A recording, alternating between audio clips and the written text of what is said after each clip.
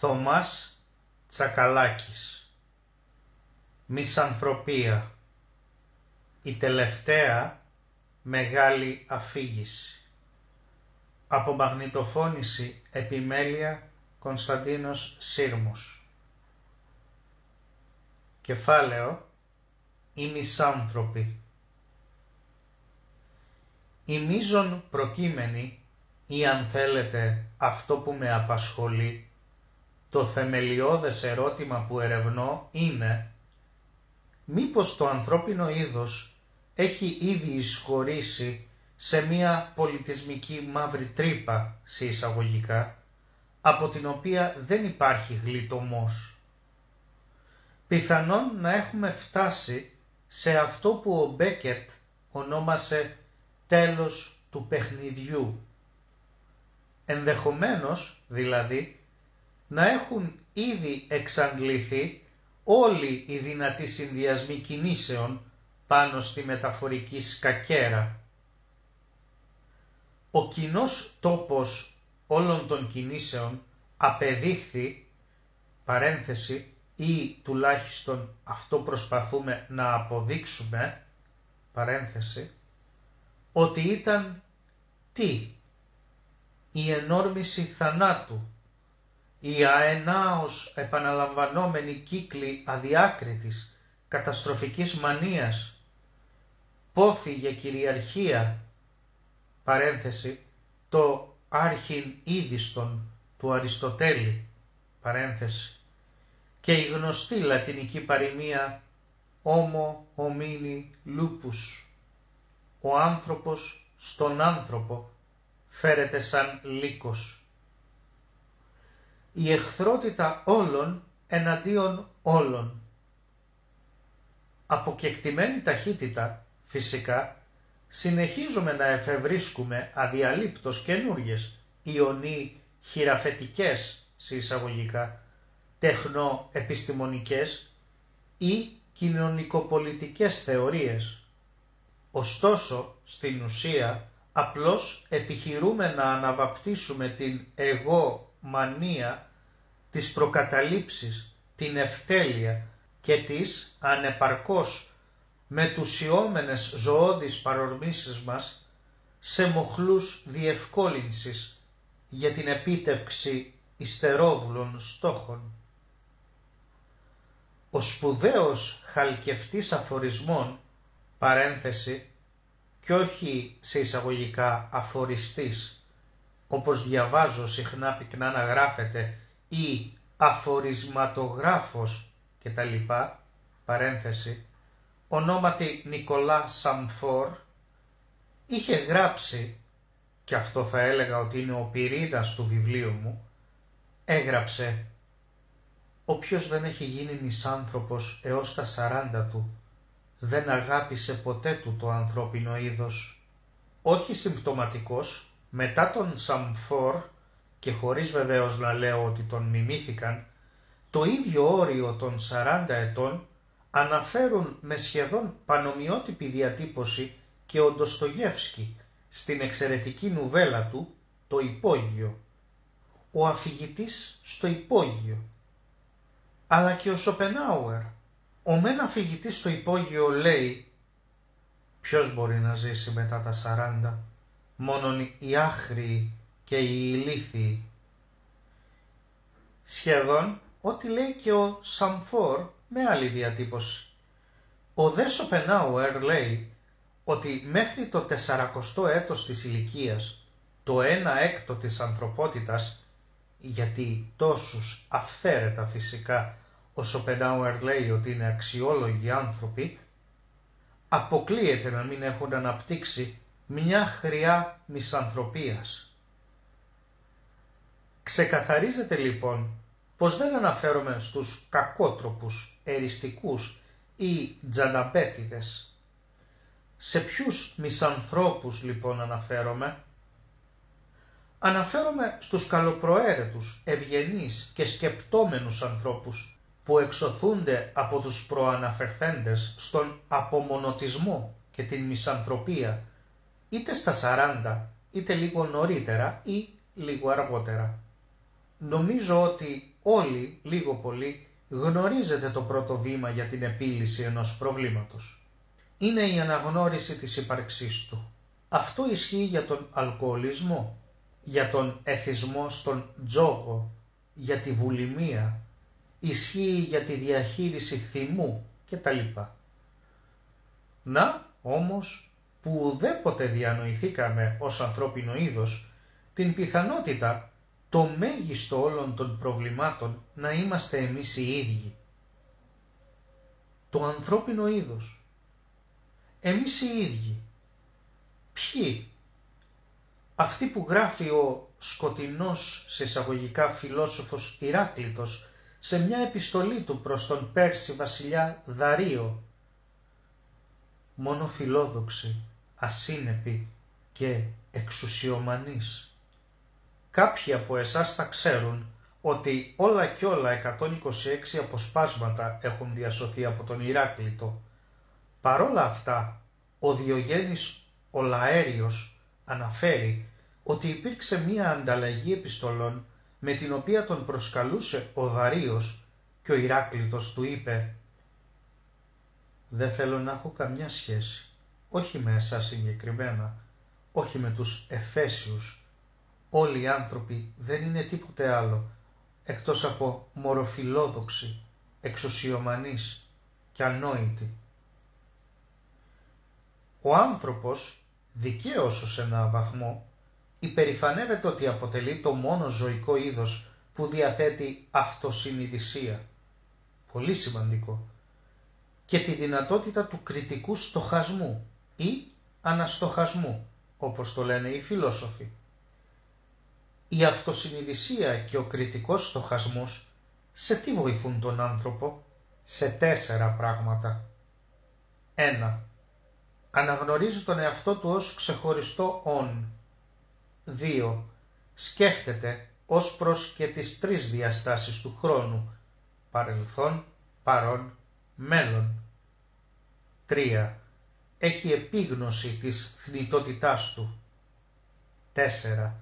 Μπορεί να διδάσκεται από τις προηγούμενες εμπειρίες του, ώστε να διορθώνει τις τυχόν στρεβλές αντιλήψεις και αποφάσεις του. Για τα τρία πρώτα, ουδόλως θα διαφωνήσω ότι κανένα άλλο ζώο δεν τα διαθέτει. Όμως διδάσκεται όντως από τις προηγούμενες εμπειρίες ώστε να διορθώσει τις τρευλές αντιλήψεις και αποφάσεις. Ιδίως από τον διαφωτισμό και ύστερα επικράτησε η υπεραισιόδοξη κατ' εμέ άποψη ότι ο άνθρωπος είναι εκφύσεως, σε εισαγωγικά, ένα ορθολογικό και ευγενές όν με τις ικανότητες της αυτοκριτικής και της αρμονικής συνύπαρξης παύλα συνεργασίας. Ωστόσο, στο βιβλίο μου προτείνω την εξής υπόθεση εργασίας. Ο δυτικός πολιτισμός, για αυτόν μπορώ να μιλήσω περισσότερο, τουλάχιστον των τελευταίων αιώνων, είναι ένας πολιτισμός της υποκρισίας ή έστω των μισών αληθιών ένας πολιτισμός της φενάκης και της φρεναπάτης. Άλλος υπήν εξαπατούμε και αυταπατώμαστε, εκουσίως και ανελιπώς. Τι εννοώ; Κρυβόμαστε πίσω από τους κληροδοτημένους μύθους και η λέξη κλειδί είναι το μύθους σε εισαγωγικά της τεχνολογικής και επιστημονικής εξέλιξης του ανθρωπισμού, της αναντήρητης προόδου σε ζητήματα παιδείας, δημοκρατίας, ανθρωπίνων δικαιωμάτων. Αλλά, συνάμα, εθελοτυφλούμε ως προς τα δύο δομικά στοιχεία της ψυχικής ιδιοστασίας μας. Ποια είναι αυτά; Κατά τον Σοπενάουερ, τον Φρόιντ και κατά πολλούς άλλους πριν από μένα και εμένα, η φιλαυτία και ο παραλογισμός. Τα συνεπακόλουθα αυτών των δύο είναι τα εξής. Απληστία, φθόνος, κτηνοδία, φαυλότητα, οπορτουνισμός, αναξιοκρατία και η πρημοδότηση της ρηχότητας, της άγνοιας ή της ημιμάθειας, της ανοησίας. Ναι, και η ανοησία επιβραβεύεται. Το πρόβλημα επί του τελευταίου δεν είναι η διάχυτη ηλικιότητα καθ' αυτή, αλλά η απουσία επιθυμίας που διακρίνω συχνάκης για αυτοβελτίωση από τους περισσότερους, η έπαρση των βλακών, για να το πω αλλιώς, η ελλειπής αυτογνωσία τους, αν θέλετε. Δεν αντικρίζουμε λοιπόν την ψυχή μας στον καθρέφτη με καθαρότητα και σκληρότητα για να χρησιμοποιήσω μία νητσεϊκή φράση, διότι φοβούμαστε ότι εκεί, στον καθρέφτη, δεν θα δούμε το ιδανικό εγώ μας. Παρένθεση Φρόιντ. Αλλά, όπως συνέβη με τον νητσεϊκό Ζαρατούστρα, θα ρεκάξει η καρδιά μας και θα συγκλονιστεί. Γιατί αυτό που θα δούμε στον καθρέφτη θα είναι του διαβόλου η μάσκα και το γέλιο το σαρκαστικό. Αν όντως είχαμε την ικανότητα και την επιθυμία να αμφισβητούμε και να επαναξιολογούμε όλες τις αρχές και τις αξίας μας, όπως συχνάκης παριστάνουμε ότι κάνουμε, τότε θα αναθεωρούσαμε ουκ ολίγα. Επί παραδείγματι, πρώτον την αθεμελίωτη πεποίθησή μας ότι υπερτερούμε σε σχέση με τα υπόλοιπα έμβια όντα του πλανήτη. Παρεπιπτόντος, αυτό λέγεται στην επιστημονική ορολογία ειδισμός από τη λέξη είδος. Δεύτερον, τον τρόπο που κακομεταχειριζόμαστε, πολύ επίκης ο όρος, το φυσικό μας περιβάλλον. Τρίτον, την ιδιοτέλεια, η οποία διακρίνει τις περισσότερες από τις ενέργειές μας και τέταρτον, την αλαζονία μας ως προς την υποτιθέμενη σπουδαιότητά μας. Σπουδαιότητα της θέσης μας μέσα στο σύμπαν. Παρένθεση κοσμολογική. Η ανάδυση, η εμφάνιση και η επικράτηση του ανθρώπινου είδους πάνω στη γη είναι το τυχαίο αποτέλεσμα αφενός ευμενών λεπτών ρυθμίσεων των φυσικών νόμων στον μεγάκοσμο, όπως λένε οι φυσικοί, στη ζώνη της χρυσομαλούσας, σε εισαγωγικά, το ότι είμαστε δηλαδή στην κατάλληλη απόσταση από τον ήλιο και αφετέρου πάλι ενδεχομενικών τυχαίων αλεατορικών χημικών γεγονότων στον μικρό κόσμο. Κεφάλαιο Σέιγκαν Το κατεφημισμόν σοφό σε εισαγωγικά υποείδος μας Homo sapiens sapiens παρένθεση όλοι εμείς δηλαδή παρένθεση υπάρχει πάνω σε αυτήν την αχνή μπλε κουκίδα όπως έλεγε ένας σπουδαίος κοσμολόγος ο Καρλ Σέιγκαν μόλις 200.000 χρόνια. Αυτή η μπλε κουκίδα περιστρέφεται γύρω από έναν εκ των δισεκατομμυρίων αστέρων του γαλαξία μας. Εσχάτως ανακαλύφθηκε ότι υπάρχουν τρισεκατομμύρια γαλαξίες. Ως τώρα πιστεύαμε μισό εκατομμύριο, ενώ πολλοί φυσικοί διατείνονται ότι υπάρχουν μέχρι και πολλαπλά σύμπαντα. Ο ιδιοφυής λοιπόν αυτός εκλαϊκευτής της κοσμολογίας, ο Καρλ Σέιγκαν, χλέβαζε την αλαζονική ανθρωποκεντρική αντίληψη πως το σύμπαν δημιουργήθηκε για λογαριασμό μας. Την κοσμοθεώρηση δηλαδή, η οποία επικράτησε στο μέγιστο μέρος της ανθρώπινης ιστορίας.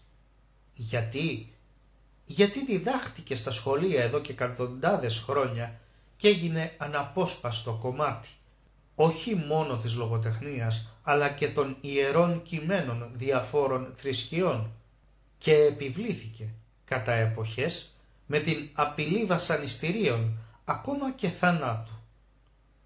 Συνεχίζει λοιπόν ο Σέιγκαν και λέει «Αν ένας πραγματικά ευφυής εξωγήινος μας παρατηρούσε να παραλυρούμε για την υποτιθέμενη παντοδυναμία μας και παντογνωσία μας, θα συμπέραινε ότι ο πλανήτης μας κατοικείται από ηλίθιους.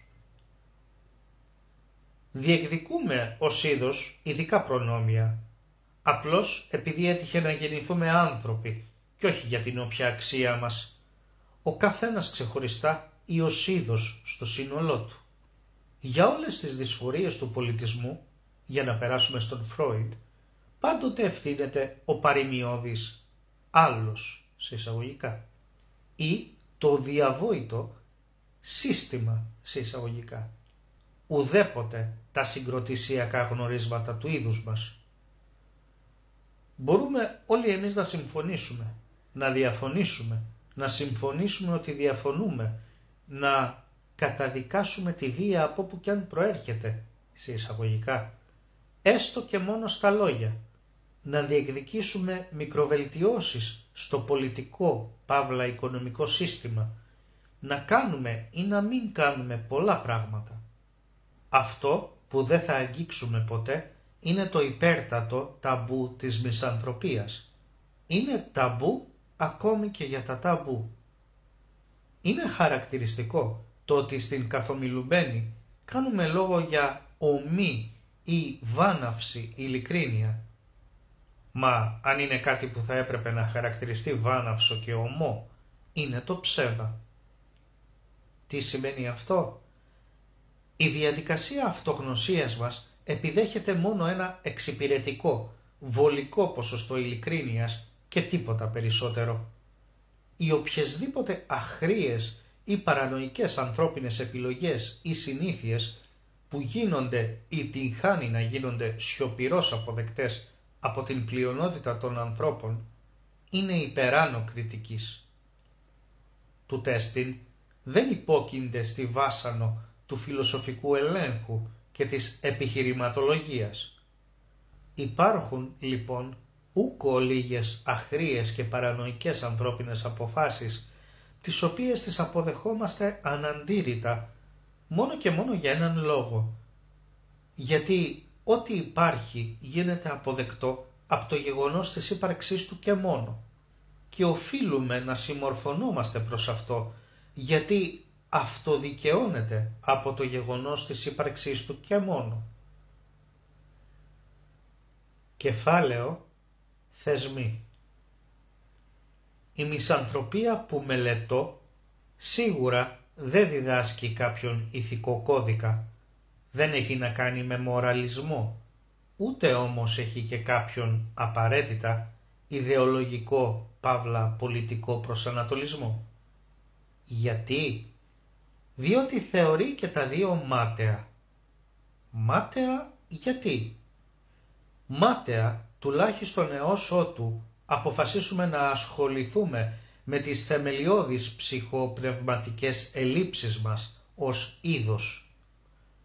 Πρώτα πρέπει να γίνει αυτό και μετά να καταπιαστούμε με ιδεολογικά, παύλα πολιτικά προβλήματα ή οτιδήποτε άλλο.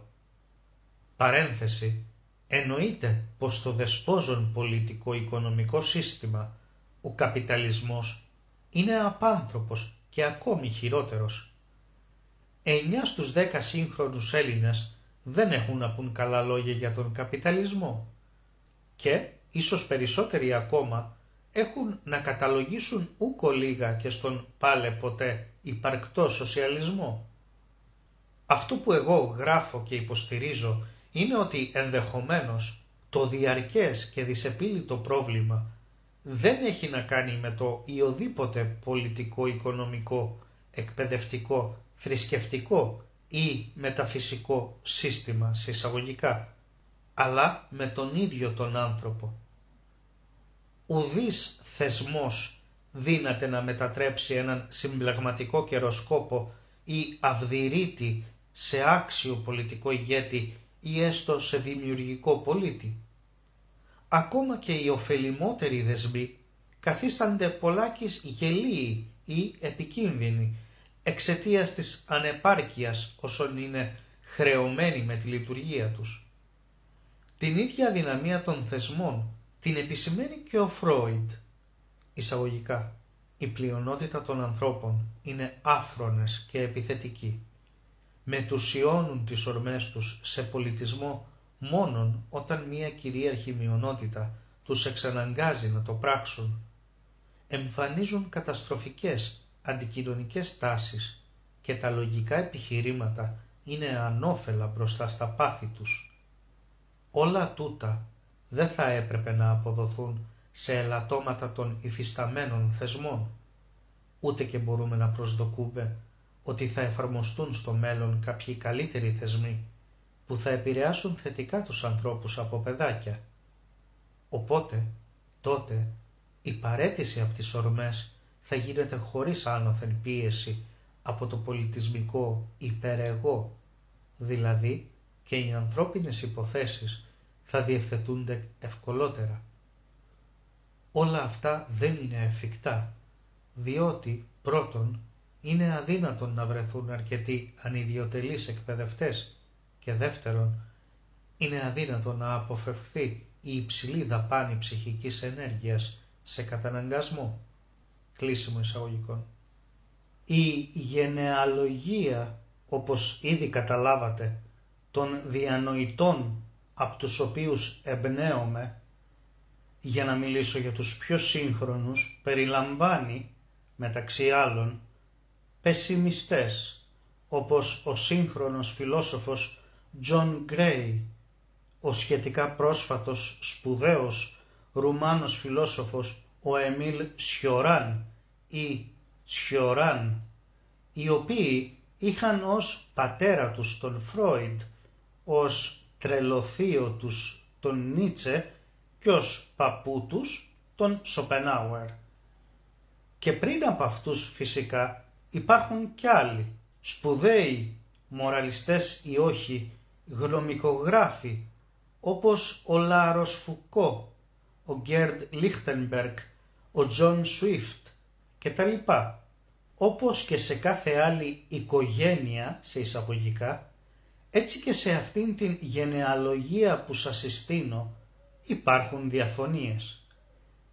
Επί παραδείγματι, μπορώ να αναφέρω τον Σοπενάουερ να λέει «Αν ο ίκτος συνιστά το μοναδικό μη εγωιστικό ηθικό κίνητρο» ή, όπως σημειώνει ο Νίτσε, «Αν πρόκειται για κάτι το επιβλαβές» και «Αν ο κόσμος διέπεται από μια θέληση για δύναμη» ή επιστρέφοντας στον Σοπενάουερ από μια βούληση για ζωή.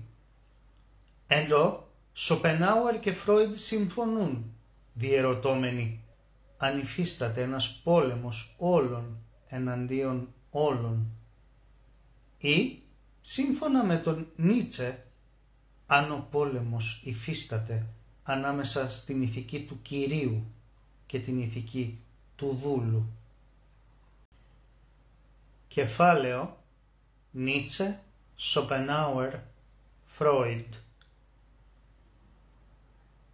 Για να βγάλουμε τον αγαπημένο μου τρελοθείο έξω από την εξίσωση και την γενεαλογία, ο Νίτσε διαφοροποιείται από τους άλλους δύο, Σοπενάουερ, Φρόιντ, πρωτίστως για δύο λόγους. Γιατί διαπνεόταν από το όραμα του μελλοντικού υπερανθρώπου που θα δώσει νόημα στην ύπαρξη και τα λοιπά και γιατί διαπνεόταν από την υπεροπτιμιστική κατ' εμέ ιδέα της διονυσιακής κατάφασης της ζωής. Αντιθέτως, Σοπενάουερ και Φρόιντ θεωρούσαν ότι ο στόχος της ζωής είναι ο θάνατος οι συντηρητικές ορμές των ανθρώπων, όπως και των ζώων, δεν αποσκοπούν στην εξελικτική τελειοποίηση, έγραφε ο Φρόιντ, αλλά στην επιστροφή στην πρωταρχική κατάσταση της άψυχης ύλης. Με άλλα λόγια, η φροηδική έννοια της ενόρμησης θανάτου, σε εισαγωγικά, επαληθεύει τη θέση του Σοπενάουερ, πως η ζωή αποτελεί απλώς ένα καθήκον που πρέπει να εκπληρωθεί. Κάπου ο Σοπενάουερ γράφει «Είναι εξαιρετικό να πεις για κάποιον «απεβίωσε» γιατί αυτό σημαίνει ότι εκπλήρωσε το καθήκον του». Κάποιοι κατηγορούσαν τον Σοπενάουερ, του λέγαν «Ωραία αυτά που λες, αλλά γιατί δεν αυτοκτονείς» γιατί κοιμάσαι με ένα όπλο κάτω από το μαξιλάρι σου; Και ο Σοπενάουερ έδωσε την εξής εξαιρετική απάντηση.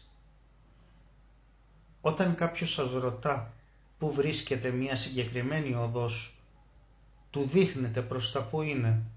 Δεν πηγαίνετε μαζί του. Όπως λοιπόν ο Σοπενάουερ δηλώνει ότι η θλίψη και η οδύνη αποτελούν τον κανόνα στη ζωή, έτσι και ο Φρόιντ θεωρεί πολύ ευκολότερο το να μας βρει η δυστυχία παρά η ευτυχία. Και αυτό γιατί ο πόνος μας απειλεί από τρεις πλευρές. Από τη φύση, από το ίδιο μας το σώμα, πρωτίστως όμως από τις σχέσεις μας με τους άλλους ανθρώπους, οι οποίοι κάθε άλλο παρά αξιαγάπητοι είτε, έγραψε ο Φρόιντ. Επιπλέον, οι ηθικές απαγορεύσεις που μας επιβλήθηκαν από το πολιτισμικό υπερεγώ θεωρούνται ότι αποδεικνύουν την κακότητα και την ευτέλεια που υπάρχει μέσα μας. Ενώ η εντολή ου φωνεύσεις επιβεβαιώνει ότι καταγόμαστε από αμέτρητες γενιές ανθρώπων που είχαν τη δολοφονική δίψα στο αίμα τους, όπως ίσως και εμείς σήμερα. Όπως αναφέρει ο μπαμπάς του Φρόιντ, ο Σοπενάουερ, ο πυρήνας του εαυτού μας ταυτίζεται με τον ανεφορίον εγωισμό και αν μπορούσαμε να αντικρίσουμε την ψυχή μας με καθαρότητα και σκληρότητα στον καθρέφτη, θα ομολογούσαμε ότι ο άνθρωπος επιθυμεί να είναι ο κυρίαρχος όλων, να διαθέτει τα πάντα, να αντλεί δονή από κάθε τι και αντιδρά με μίσος και καταστροφική μανία σε οτιδήποτε εναντιώνεται στην εγωπάθειά του. Μάλιστα, ο Σοπενάουερ αναφέρει ότι μερικοί άνθρωποι θα έφταναν μέχρι του σημείου να σκοτώσουν τον συνάνθρωπό τους μόνο και μόνο για να αλείψουν τις μπότες τους με το λίπος τους. Ο Φρόιντ, όπως άλλωστε και ο Σοπενάουερ, σήμερα θεωρείται παροχημένος, οπότε μπορεί να αναρωτηθείτε γιατί σας μιλάω για αυτούς; Για τον Φρόιντ ειδικά διατείνονται ότι ο λόγος που θεωρείται παροχημένος είναι επιστημονικός τεκμηριωμένος και έχει να κάνει με την πρόσφατη ανάπτυξη της γνωστικής νευροεπιστήμης και με την προσήλωση των περισσότερων στην υποτιθέμενη βιολογική βάση των ψυχοπνευματικών διεργασιών. Του αντίον, εγώ στο βιβλίο μου υποστηρίζω ότι η απαξίωση του Φρόιντ οφείλεται περισσότερο στις μισανθρωπικές και πεσημιστικές πλευρές του ύστερου έργου του, του έρημου, ή τι, στην άρνησή του να ασπαστεί τη διαφημιζόμενη από τον διαφωτισμό και ύστερα σύμφυτη ευγένεια και ορθολογικότητα του είδους μας. Λαμβάνοντας ως σημείο εκκίνησης τον Φρόιντ την ρηξικέλευθη σοπενχαουερική ιδέα ότι δεν ταυτίζεται η συνείδησή μας και η σκέψη μας, για να το πούμε πιο απλά, η ρηξικέλευθη ιδέα του Σοπενάουερ που ενέπνευσε τον Φρόιντ είναι ότι συχνάκης οι σεξουαλικές ορμές μας και οι παράλογες επιθυμίες μας, οι εγωιστικές επιθυμίες μας, λειτουργούν ανεξαρτήτως του συνειδητού στοχασμού μας. Με αφορμή λοιπόν σοπενταουρικές ιδέες, ο Φρόιντ διερεύνησε τις σκοτεινές ερευόδεις και αχαρτογράφητες περιοχές του νου μας και διαφώτισε σε εισαγωγικά τον διαφωτισμό ως προς ανεπίτευκτο πολλών από τους προγραμματικούς στόχους του διαφωτισμού και φώτισε τα όρια των ιδεοδών που επικαλείτο ο διαφωτισμός. Του τέστην στην πραγματικότητα αυτό το οποίο η νεωτερικότητα δεν συγχώρεσε ποτέ στον Φρόιτ είναι ότι προώθησε την επικίνδυνη για τις αυταπάτες μας άποψη ότι η πρωταρχική ανθρώπινη κατάσταση είναι η χρήση είτε ομής είτε συγκεκαλυμμένης βίας κατά τις συγκρούσεις ανταγωνιστικών συμφερόντων. Και επίσης ότι το επωνομαζόμενο δίκαιο της κοινότητας εκφράζει απλώς τους μόνιμους άνισους συσχετισμούς εξουσίας εντός της κοινωνίας. ναι μεν βαφκαλιζόμαστε με την ιδέα ότι επαφίεται στην ελεύθερη βούλησή μας να επιλέξουμε ανάμεσα σε δύο αντιδιαμετρικούς πόλους αγάπη, μίσος, καλό, κακό, δίκαιο, βία, αλλά οι ορμές αυτοσυντήρησης, έρος κατά Φρόιντ, και οι αυτοκαταστροφικές ορμές, θάνατος, συμμιγνύονται, αλληλεπιδρούν και ενεργοποιούνται συγχρόνως σε κάθε έκφανση της ζωής μας. Με αποτέλεσμα η επιθετικότητα να στρέφεται είτε προς τα έξω, αποφέροντας ειδονή, είτε προς τα μέσα, γεννώντας την ηθική συνείδηση, το υπερεγώ.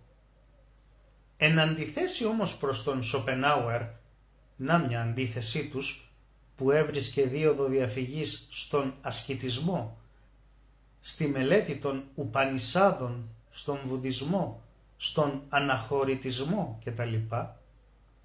Ο Φρόιντ δεν έβλεπε καμιά διέξοδο για το συμπλεγματικό και φιλοπόλεμο ζώο που λέγεται άνθρωπος. Κεφάλαιο Φιλία Με αφετηρία λοιπόν τα προαναφερθέντα, σε αυτό το βιβλίο μελετώ καλοπροαίρετα όλα τα προτινόμενα ιάματα του σύγχρονου πολιτισμού, με την ελπίδα να αυτοδιαψευστώ. Να διαψευστεί η μηδενιστική και η πεσημιστική κοσμοαντίληψή μου. Αλλά εις μάτιν. Λόγου χάρη, ας μιλήσουμε για κάποια από αυτά τα φάρμακα, σε εισαγωγικά, ή φαρμάκια του σύγχρονου πολιτισμού. Θα ξεκινήσω από κάτι απλό. Τη φιλία.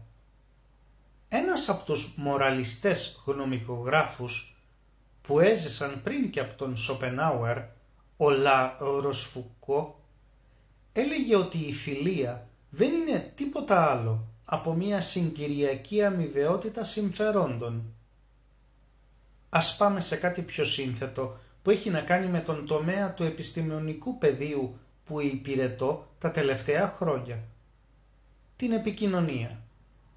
Ας μιλήσουμε λοιπόν για τη λεγόμενη επιτυχή επικοινωνία, την κοινωνική συνένεση, το συνεπακόλουθο της επιτυχούς επικοινωνίας, το consensus όπως λέγεται. Σε κάθε διαφωνία, δημόσια και ιδιωτική, ο κάθε ένας επικεντρώνεται αποκλειστικός σε εκείνα τα σημεία τα οποία δικαιώνουν την ιδεολειψία και τις βεβαιότητές του.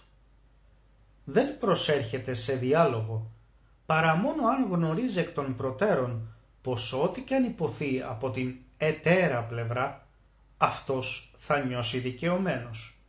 Οι αποφάσεις ή οι αποφάνσεις, για να δανειστώ έναν όρο του Παναγιώτη Κονδύλη, των συμμετοχόντων στην επικοινωνιακή διαδικασία είναι πάντοτε προηλημένες και ξαναγυρνάω στην κεντρική ρίση της ομιλίας μου.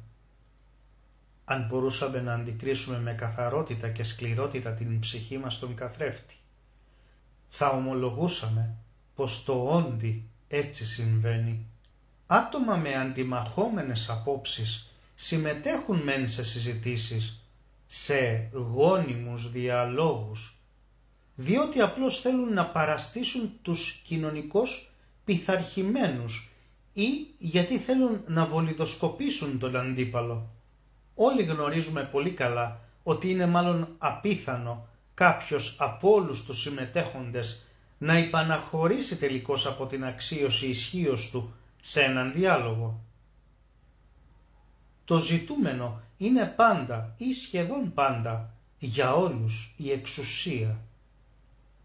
Η εξουσία και ή δυνατόν η κατάχρησή της θα προσέθετα. Ο διάπειρος πόθος του καθενός είναι το να επιδείξει εμφατικός σε όσους το δυνατόν περισσότερους την υπεροχή του έναντι αυτών ή αλλιώς ο διάλογος είναι το πεδίο μάχης που επιλέγουν όσοι ξέρουν ότι δεν θα μπορούσαν να επιβάλλουν την κυριαρχική απόψή τους σε ένα σκληρότερο είδος πολέμου. Παρένθεση Κονδύλης. Κεφάλαιο Φιλανθρωπία Θρησκεία Ας μιλήσουμε τώρα για την φιλανθρωπία. Απολύτως κύβδηλη, δεν το συζητώ. Πρόκειται απλώς για αυτό στο οποίο καταφεύγουν κάποιοι βολεμένοι μεγαλοαστοί και ενίοτε μικροαστοί που αναζητούν έναν αναπνευστήρα για τη βαλτόδη συνείδησή τους μέσω αγαθοεργειών. Ιδίως αν αυτές οι αγαθοεργίες είναι σε θέση να επιφέρουν είτε φορολογικές ελαφρύνσεις, είτε να τους εξασφαλίσουν πρωτοτραπέζι πίστα στον παράδεισο. Για τις θρησκείες δεν θα πω πολλά, για να μην θυγεί κάποιος. Πρόκειται απλώς για επινοημένα κανονιστικά μετασυστήματα που αυτοαιτιολογούνται και αυτοδικαιώνονται και αυτά σε μια απέλπιδα προσπάθεια να ενταχθεί η κομικοτραγική ανθρώπινη ύπαρξη σε μια εικαζόμενη, ανώτερη και αρμονική ολότητα. Οι διάφορες λοιπόν θρησκείες πείθουν τους πιστούς ότι τους περιμένουν ουροί και πιλάφια στον παράδεισο, ότι ο Αντίχριστος θα μεταστοιχειωθεί σε έναν συγκεκριμένο τριψήφιο αριθμό, καταχαραγμένος σε πληνθείο πυρητίου, παρένθεση μικροτσίπ, ότι οι καταστροφικοί τυφώνες, μας λένε οι Αμερικανοί Ευαγγελιστές, δεν οφείλονται στην ανθρωπογενή κλιματική αλλαγή, αλλά στο ότι επιτρέψανε σε μερικές πολιτείες τους γάμους μεταξύ ομοφύλων. Η εγκόσμια ζωή, λέει μια άλλη θρησκεία, δεν είναι παρά η προετοιμασία για την τελική σύγκρουση με τους απίστους κτλ. Κεφάλαιο Τεχνοεπιστήμη Πάμε στην τεχνοεπιστήμη. Όλοι θα θέλαμε να πιστέψουμε στην εγκυρότητά της. Είναι απροϋπόθετη η επιστήμη. Ο Νίτσε που δεν πρόλαβε να δει αυτά που γίνονται στον 20ο αιώνα ήδη έλεγε ότι δεν υπάρχει απροϋπόθετη επιστήμη. Για άλλους λόγους το έλεγε αυτός τότε, που να είχε δει όσα συμβαίνουν σήμερα. Ο επιστημονικός λόγος αποτελεί απλώς έναν από τους πολλούς θεσμικούς μηχανισμούς παραγωγής αλήθειας, εντός ενός δεδαλώδους πλέγματος εξουσιών. Τίποτα περισσότερο τίποτα λιγότερο. Τα ανδιαμφισβήτητα τεχνοεπιστημονικά επιτεύγματα σε καμιά περίπτωση δεν συνεπάγονται τη λύτρωση από την ανθρώπινη κτηνοδία. Απέναντίας, πολλές φορές τη διευκολύνουν την ανθρώπινη κτηνοδία. Η τεχνοεπιστήμη δεσμεύεται από τα εξής τέσσερα θέσφατα.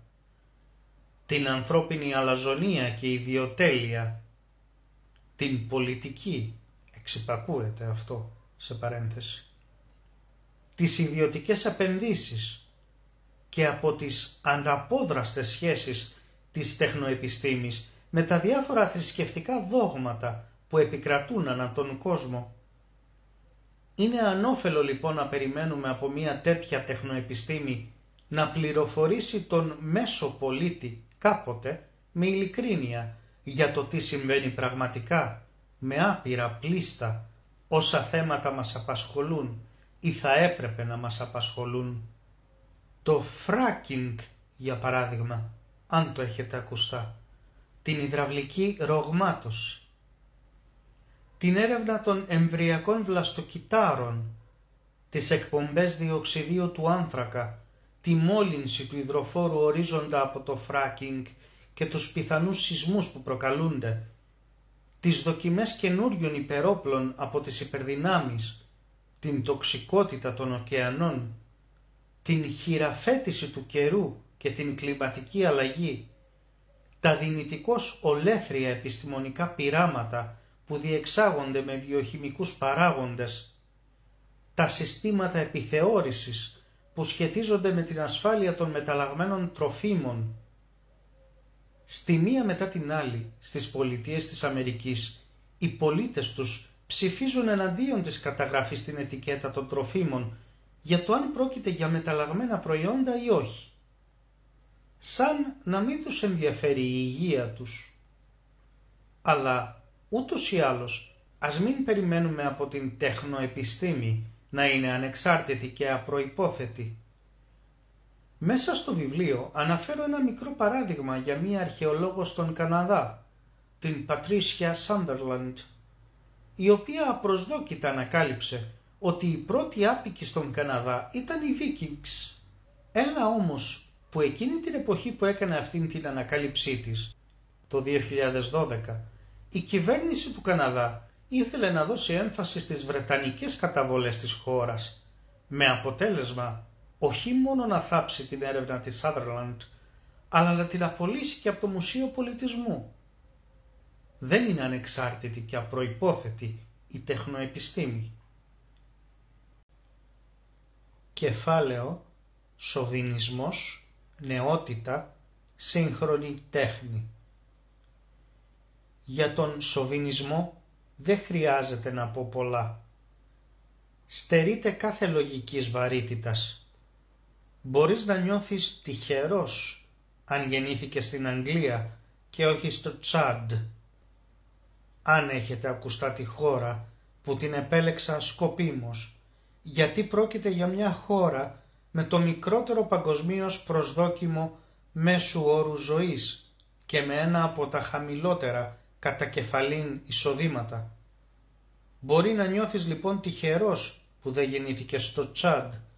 Υπερήφανος όμως γιατί; Δεν οφείλονται σε σένα τα τυχόν σπουδαία επιτεύγματα ανθρώπων που απλώς συνέπεσε να ζούσαν στον ίδιο τόπο που συνέπεσε να ζει σήμερα. Ας μιλήσουμε και για την νεότητα. Στους νέους ανθρώπους αποδίδεται ιδιαίτερη αξία, διότι αυτοί συνιστούν μακροχρόνιους καταναλωτές. Αυτό είναι το όνομα του παιχνιδιού μας, η κατανάλωση. Και ένας δεύτερος λόγος είναι το ότι έχουμε, κυρίως στη Δύση, μία εγγενή απέχθεια προς τα γυρατιά. Αυτοί είναι οι δύο κύριοι λόγοι που πρημοδοτούμε τη νεότητα. Η δε απέχθειά μας προς τα γυρατιά θα έλεγα ότι είναι γεγονός ενδεικτικό της άρνησης των περισσότερων εξήμπων να αποδεχθούμε το μοναδικό εξισωτικό παράγοντα κατά τον Σοπενάουερ. Ποιος είναι ο μοναδικός εξισωτικός παράγοντας; Ο θάνατος. Δύο λογάκια για τη σύγχρονη τέχνη. Πλήρης αποπολιτικοποίηση είτε είναι καλό αυτό είτε κακό. Τα συνεπακόλουθα όμως είναι σίγουρα δεινά, απλοϊκότητα, ευκολία, ρηχή επανάληψη. Για να το πω πιο σύνθετα, η φαντασία, προϋπόθεση της τέχνης, έχει επικιστεί από την εμπορευματική λογική, όπως σχεδόν τα πάντα σήμερα. Μαζική απέκριση διανοητικών και καλλιτεχνικών προϊόντων υψηλής τοξικότητας. Αυτό είναι η σύγχρονη τέχνη και αυτά είναι τα απεκρίματα υψηλής τοξικότητας. Καταναλώνονται από όσους πληρώνουν με τα χαράς για να διασκεδάσουν σε εισαγωγικά, εορτάζοντας τι; Την ατελείωτη αυτοαναπαραγωγή της ηλικιότητας, της βίας και της υποταγής στην κοινωνία του θεάματος, όπως έλεγε ο Γκί Ντεμπόρ. Κεφάλαιο Παιδεία Και τέλος κάτι για τον χώρο που διακονώ. Την παιδεία και τους μεταλείπεις το λέω, ερσάτζ σε εισαγωγικά διανοούμενους. Τα εκπαιδευτικά συστήματα προωθούν την μερικευμένη γνώση και ενίοτε την άγνοια ο σπουδαίος Νόαμ Τσόνσκι λέει ότι οι εγκύκλειες σπουδές είναι ένα σύστημα επιβαλόμενης άγνοιας. Η εκπαίδευση λοιπόν προωθεί τι; Την εξειδικευμένη κατάρτιση και τον κομφορμισμό φυσικά. Αντί να προωθούν τι; την καθολική καλλιέργεια, την αισθητική και πνευματική καλλιέργεια, την ελεύθερη σκέψη. Οι περισσότεροι σύγχρονοι διανοούμενοι, λοιπόν, για να περάσουμε και σε αυτούς, είναι εργολάβοι ιδεών, έτοιμοι να προσφέρουν τις προκάτ ανάλατες λύσεις τους επί παντός επιστητού, ακόμα και για ζητήματα του σύρμου. Πρόκειται για κενούς και επιτιδευμένους στοχαστές δίχως όραμα, απολύτως εξαρτημένους από το εκάστοτε πνεύμα της εποχής, στο οποίο και προσαρμόζονται με τα χαράς, ούτως ώστε να διαδώσουν στους πάντες τις τυχαίες γνώμες τους και τις ανεμικές ή σκοπίμως δυσνόητες θεωρητικές κατασκευές τους. Οι επικρατούσες τάσεις, δυστυχώς και στην ακαδημαϊκή κοινότητα, είναι η αδικαιολόγητη καυχησιολογία, ο φθόνος, η αμοιβαία υπονόμευση, ο κανιβαλισμός και η ανερμάτιστη συμπεριφορά. Οι διάσημοι, σε εισαγωγικά, εκπρόσωποι των τεχνών και των γραμμάτων ενδιαφέρονται αποκλειστικώς ή πρωτίστως για τη διαιώνιση μιας κατάστασης που τους επιτρέπει είτε να προαλήφονται κυβερνητικές θέσεις είτε να παριστάνουν τα pop είδωλα. Ενώ όσοι έρχονται από πίσω ακολουθούν στη σειρά, υποταπεί και χαμερπείς και υποκριτές, διονυσοκόλακες σε εισαγωγικά. Παρένθεση. Ωραία λέξη. Την χρησιμοποίησε ο Επίκουρος και ο Αριστοτέλης για τους πλατωνιστές. Παρένθεση. Αυτοί οι διονυσοκόλακες λοιπόν το μόνο που επιθυμούν είναι να γίνουν χαλίφιδες στη θέση του χαλίφη. Πολλής λόγος γίνεται κάτω στην Ελλάδα περί αξιολόγησης και αριστείας, τόσο στην παιδεία όσο και στους χώρους εργασίας. Ας αποπειραθώ να σκιαγραφίσω την τραγικοκομική αναζήτηση ενός αρχιμίδιου σημείου ως προς το ζήτημα της αξιολόγησης. Θα διαβάσω το απόσπασμα μέσα από το βιβλίο. Εισαγωγικά. Αξιολόγηση στην παιδεία ή την εργασία.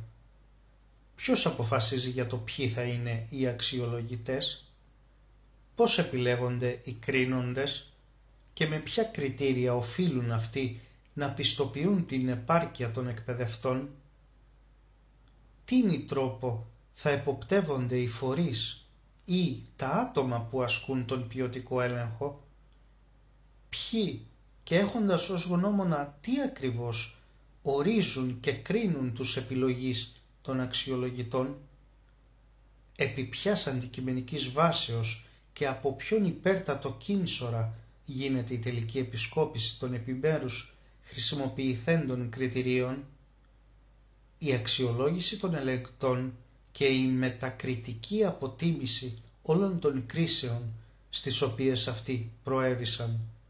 Υπάρχει με άλλα λόγια ο παντογνώστης και άσπυλος υπεράνθρωπος που θα εξαλείψει κάθε ίχνος ευνοιοκρατίας ή καιροσκοπισμού σε κάθε στάδιο της ελεγκτικής διαδικασίας. Κεφάλαιο η ημιβάρβαροι. Κλείνοντας, την ίδια στιγμή λοιπόν που συμβαίνουν όλα αυτά, η παγκόσμια αποβλάκωση και δικτατορία των ημιβάρβαρων επεκτείνεται. Παράδειγμα, στις Ηνωμένες Πολιτείες Αμερικής, ένας στους τέσσερις, κοντά εκατό εκατομμύρια άνθρωποι δηλαδή, πιστεύουν ότι ο ήλιος περιστρέφεται γύρω από τη γη σε πολλές από τις πολιτείες τους έχουν νόμους όπως οι εξής. Απαγορεύεται να έχεις πάνω από δύο δονητές στην οικία σου. Επιτρέπεται να σκοτώσεις μια αρκούδα, αλλά απαγορεύεται να την ξυπνήσεις και να την φωτογραφίσεις. Υπάρχουν αυτοί οι νόμοι, μπορείτε να το ψάξετε. Ας αφήσουμε την Αμερική, ας πάμε στους κίνσορές μας τους Γερμανούς, τους τιμητές μας τα τελευταία χρόνια με την κρίση. Γνωρίζετε ότι επιδίδονται αδιαλείπως στην κτηνοβασία; Γνωρίζετε ότι βρήθη η Γερμανία οίκον ανοχής με ζώα; Να πούμε και για τους φιλήσυχους και φιλιρινιστές και αγαπημένους σε εισαγωγικά σε όλους βουδιστές. Το ξέρετε ότι οι βουδιστές εγκαταλείπουν τα τυφλά παιδιά τους στους δρόμους, τα φτύνουν και τους πετούν πέτρες, διότι πιστεύουν ότι είναι ή δαιμονισμένα ή διανοητικώς καθυστερημένα. Να πούμε για τον ρουσοϊκό μύθο των ευγενών αγρίων. Γνωρίζετε ότι ακόμη και σήμερα πάμπολες φυλές στην Αφρική βράζουν ζωντανούς και τρώνε τα όργανα των αλμπίνων γιατί πιστεύουν ότι τα όργανα τους έχουν κάποιες μαγικές ιδιότητες και αν τα καταναλώσουν θα τους χαρίσουν ευμάρια. Αυτοί είναι οι ευγενείς άγριοι. Να πούμε για τους Ισλαμιστές. Εκτελούν τις Μιχαλίδες δια λιθοβολισμού και τους ομοφιλόφιλους δια απαγχωνισμού. Να πούμε για όλους εμάς, τους εξελιγμένους και πολιτισμένους διετικούς. Πόσα εκατομμύρια εξημών ξημεροβραδιάζονται έξω από τα πολυκαταστήματα για να αγοράσουν το καινούριο iPhone; Έχω διαβάσει ούκο λίγες ειδήσεις από έγκυρες δημοσιογραφικές πηγές για ζευγάρι που πουλούσε το παιδί τους για να εξοικονομήσει τα χρήματα που απαιτούνται ώστε να αγοράσουν το iPhone. Να πούμε και κάτι για τα πρόσφατα νέα που αφορούν τη Σουηδική Ακαδημία. Δίνει το Νόμπελ στον Bob Dylan. Να δούμε ποιοι δεν έχουν πάρει Νόμπελ. Ο, κατ' εμέ τουλάχιστον, σπουδαιότερος λογοτέχνης όλων των εποχών, Χόρχε Λουίς Μπόρχες, ο James Joyce, η Virginia Woolf, δεν έχει πάρει ένας όχι τόσο γνωστός και σπουδαίος, αλλά αγαπημένος μου ποιητής, ο Ρόμπερτ Φρόστ. Δεν έχει πάρει Νόμπελ ο Τολστόι. Πήρε όμως ο Ντίλαν. Πήρε όμως ο Ντίλαν. Αν δεν είναι αυτό απόχρωσο ένδειξη της παγκόσμιας αποκολοκύνθωσης, τι άλλο είναι; Αν δεν δείχνει την αποβλάκωση, δείχνει ότι όλοι είμαστε πελατάκια εν κατακλείδη, αν δεν είχα τον κρυφό οπτιμισμό ότι τα πράγματα ενδεχομένως θα μπορούσαν να καλυτερέψουν, δεν θα έγραφα καν αυτό το βιβλίο. Ίσως η σωτηρία του είδους μας συνολικώς να περνά πρωτίστως μέσα από την κάθαρση της ψυχής μας, από την πλήρη και ειλικρινή επαναξιολόγηση των αρχών και των αξιών μας και τέλος από το να καταφέρουμε να επιστρέψουμε στα στοιχειώδη της συνύπαρξής μας.